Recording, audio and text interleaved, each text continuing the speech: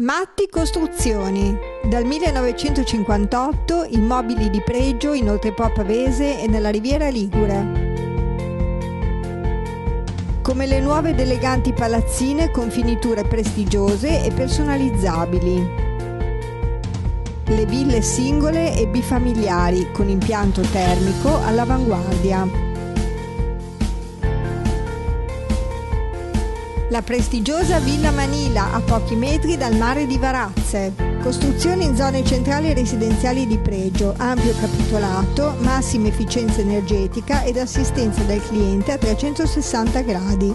Contattaci, ti aspettiamo a Voghera in via Meucci 5. Buongiorno a tutti gli amici di Occhio Pavese, oggi siamo con il dottor Michele Grandi, futuro candidato sindaco dell'Italia del Rispetto. Si torna a parlare del problema che negli ultimi tempi ha coinvolto gli automobilisti pendolari che con la decisione di Esselunga di riservare il parcheggio ai propri clienti si sono ritrovati senza il posteggio auto che giornalmente utilizzavano per parcheggiare ovviamente il proprio mezzo. So che l'Italia del Rispetto in tal merito vuole fare una proposta all'amministrazione comunale.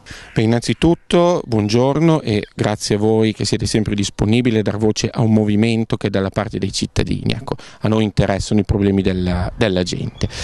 Eh, sì, eh, da quando, come è stato detto, da quando legittimamente ecco, il supermercato Esselunga ha riservato il parcheggio ai propri clienti, eh, si è posto il problema dei pendolari che non sanno più dove parcheggiare, dovendo lasciare la macchina per tutta la giornata.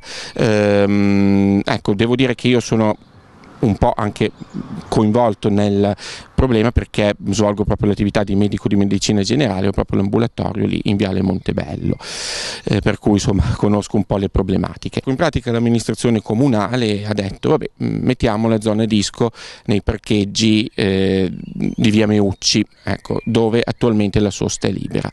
Eh, a noi non sembra la soluzione migliore, ecco, perché chiaramente si limiterebbe ecco, la possibilità eh, ai pendolari di parcheggiare. È un po', faccio un esempio, un po' come se eh, un locale che ha problemi di capienza eh, risolvesse i suoi problemi come anziché ampliarsi chiudendo le porte e dicendo alla gente voi state all'esterno, tenendo conto che in questo caso, eh, nel caso dei pendolari, la gente non sono semplici avventori che possono andare in un altro locale, ma sono persone che vanno a lavorare a Milano oppure eh, nei paesi dell'Interland.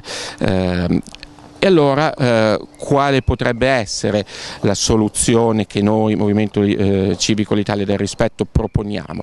Beh, eh, potenziare l'autoporto, cioè fare in modo che venga che se ne usufruisca meglio. Ecco, qualcuno nell'amministrazione comunale ha detto eh, ma ci sono tanti posti liberi per cui eh, la gente può parcheggiare lì.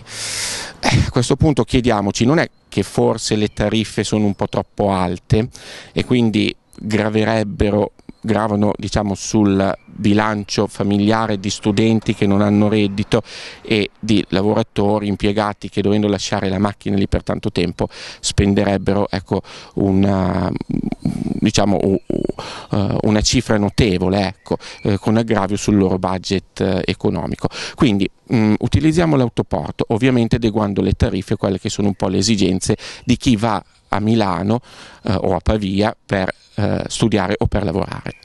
Quindi per voi potenziare l'autoporto significa diminuire le tariffe, renderle un attimino più agevolate per i cittadini? Certamente, ecco, noi proponiamo questa eh, soluzione.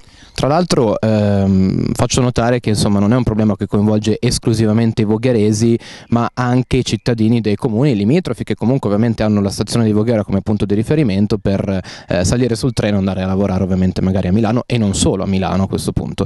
Ehm, questo noto che si sposa un pochino con la filosofia recente dell'Italia del rispetto di voler in futuro tenere in considerazione le problematiche anche degli altri comuni, eventualmente per un futuro impegno politico, no? Certamente, ecco, non è assolutamente un problema che riguarda solo Voghera. Io ho molti amici ecco, che abitano nei paesi circostanti e che mi dicono abbiamo difficoltà, ecco.